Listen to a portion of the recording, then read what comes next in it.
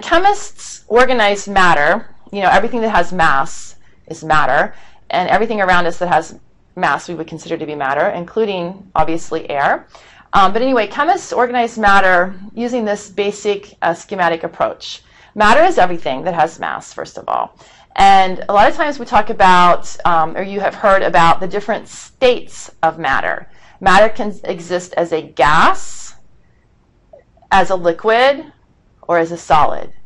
And we can have changes back and forth between, you know, a liquid going from, or excuse me, a solid going to a liquid. We call that melting. A liquid going to gas, we call that evaporation. A gas turning back into a liquid, we call that condensation. And a liquid turning back into a solid, we call that freezing or solidification. Okay, so these are kind of terms that we're familiar with, and the chemist uses them. We want to be very specific about the mixture that we call air. It's in the form of a gas all right? Mostly. All right, so let's, let's um, take this one step further. Matter, it can be in these different states, and it can exist as we call either a mixture or as some pure substance. In this box, they just use the word substance. Sometimes when chemists are talking about matter, they, they say a pure substance okay, to be absolutely sure that you're that you are distinguishing that from a mixture. All right.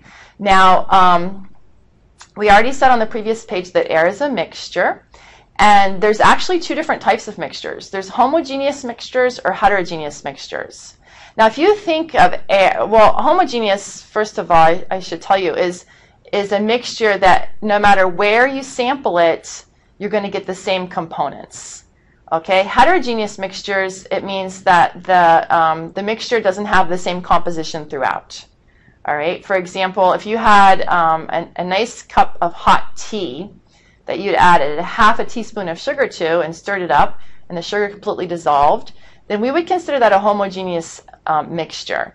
If you sip it, you know, at the beginning, it tastes pretty much the same as if you sip it in the middle. That's a good indication that the mixture is homogeneous. All the parts of the mixture are the same throughout.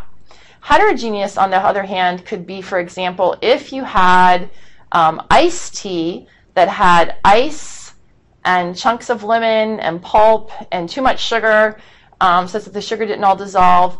Um, that's still called a mixture. The mixture is still called tea. It's a tea mixture, but in that case, it would be heterogeneous because the components of the mixture are not evenly mixed. All right, so there's a difference.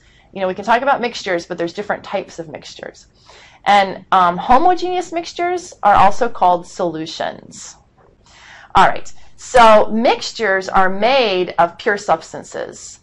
All right, and then pure substances can be um, subdivided further into compounds and elements.